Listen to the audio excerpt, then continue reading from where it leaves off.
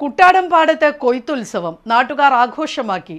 Kodanad service സഹകരണ ബാങ്കും ധനശ്രീ സ്വയം സഹായ സഹകരണ സംഘവും ചേർന്നായിരുന്നു ഈ വയലേലയിൽ നെൽകൃഷി ആരംഭിച്ചത്. കോടനാട് സർവീസ് സഹകരണ ബാങ്ക് സുഭിക്ഷ കേരളം പദ്ധതിയിൽ ധനശ്രീ സ്വയം സഹായ സംഘവുമായി ചേർന്ന് കുട്ടാടം പാടശേഖരത്തിൽ ഇറക്കിയ നെൽകൃഷിയുടെ കൊയ്ത്തുത്സവം പ്രസിഡന്റ് വിപിൻ കോട്ടക്കുടി ഉദ്ഘാടനം ചെയ്തു. കോടനാട് എന്ന് പറയുന്നത് ഒരു കാർഷിക മേഖലയാണ്. ആ മേഖലയിൽ സർക്കാരിന്റെ ഇപ്പോഴത്തെ നയമനുസരിച്ച് ഒട്ടേറെ സാധ്യതകൾ നമുക്ക് കൃഷിയിൽ ഉണ്ട്. അതിന്റെ ഭാഗമായിട്ടാണ് ബാങ്ക് ഈ തീരുമാനം എടുത്തത്.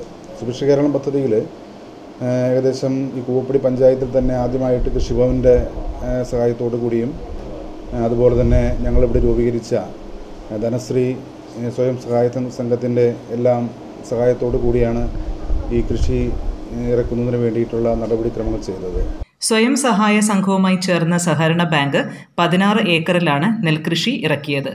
ബാങ്ക് ഭരണസമിതി അംഗങ്ങളായ P K Parameswaran Sudheesh Benny Parappuram Santhosh Kumar Divya Anoop secretary Neethu G Krishnan സ്വയം സഹായ സംഘം ഭാരവാഹികളായ മണി ശിവരാജൻ തുടങ്ങിയവർ പങ്കെടുത്തു. News desk Perumbavoor.